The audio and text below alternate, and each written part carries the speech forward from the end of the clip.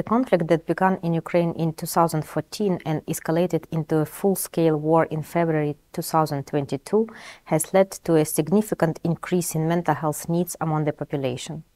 Based on WHO global estimates, we can assume that approximately 10 million people in Ukraine may have mental health condition.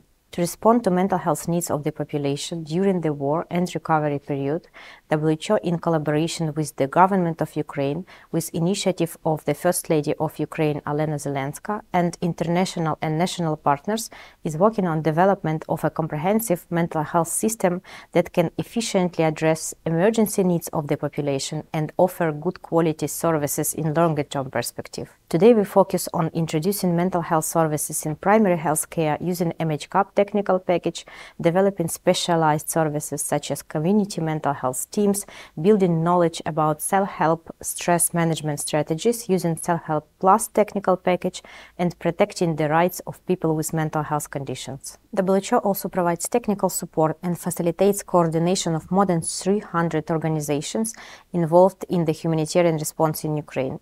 WHO advocates for the emergency response and recovery efforts in the area of mental health to be aligned with the best international standards and planned in a way that further strengthens the mental health system of Ukraine.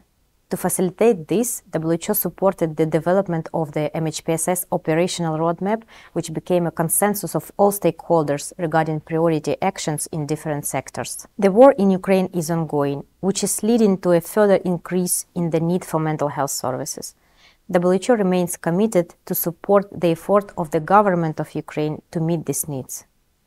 We will continue to provide all necessary assistance to respond to the impact of the war on mental health. In the settings where national resources are stretched, WHO and partners continue to fill critical gaps in MHPSS services and supply through the coordinated intersectoral effort.